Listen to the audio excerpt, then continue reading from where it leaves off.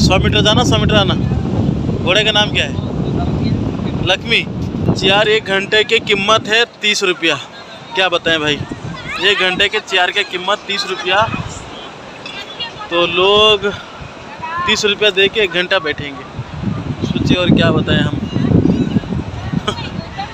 साला घर पे हम लोग का चेयर ऐसा पड़ा रहता है लोग बैठते ही नहीं है। यहाँ पर बैठने के लिए तीस रुपया। चलो। कोई बात नहीं। ये तो एक दिन में जितना रुपया कमा लेते हैं, ये तो एक दिन में दो तीन चार खरीद लेंगे भाई। अब देख सकते हैं वो।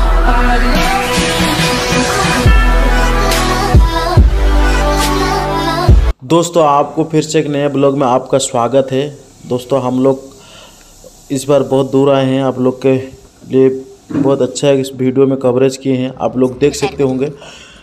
वीडियो में पूरा बने रहना। वीडियो में बहुत अच्छी चीज़ हम आपको दिखाएँगे और वीडियो में बहुत इंटरेस्टिंग हुआ है और आप लोग वीडियो को ज़रूर लास्ट तक ज़रूर देखना एक बार और हम लोग वीडियो अच्छा लगता है तो सब्सक्राइब ज़रूर करना कमेंट करना और शेयर करना।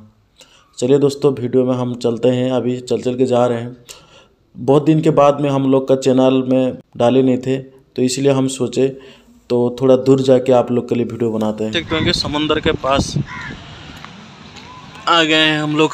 यहाँ पर गोपालपुर के। ये सीढ़ी में हम उतर रहे हैं अभी। समुंदर का मज़ा लेते हुए हम हवा देते हुए जा रहे हैं अभी।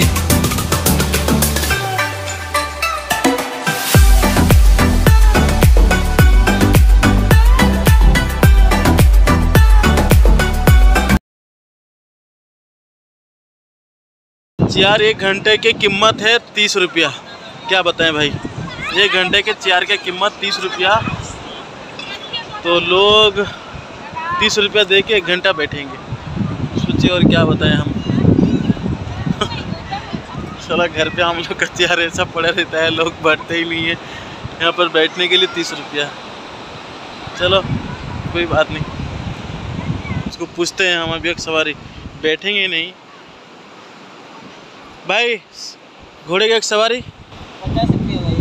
कितना दूर घुमाएँगे आप? सौ मीटर सौ मीटर जाना सौ मीटर आना। घोड़े का नाम क्या है? लक्ष्मी। अच्छा। लक्ष्मी है? सीढ़ी आप देख सकते होंगे घोड़े का नाम लक्ष्मी है लेकिन घोड़े लंगड़ा है।